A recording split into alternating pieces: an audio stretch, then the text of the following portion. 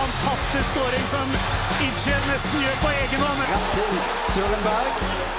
Kommer Jone Samuelsen, men det er EJ som stikker. EJ er alene! EJ skårer!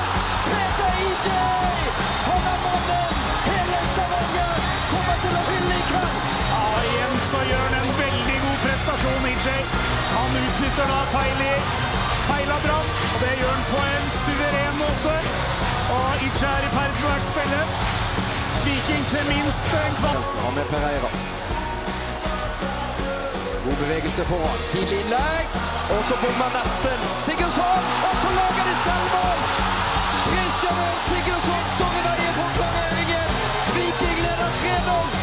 Ja, og en Sigurdsson som har vært en av tippeligaens beste stoppere. Her er han rett nok uheldig, men han har hatt et mareritt på jobben i, i, i duellene med IJ, og det starter egentlig eh, på den måten her også. Legg merke til IJ og Sigurdsson.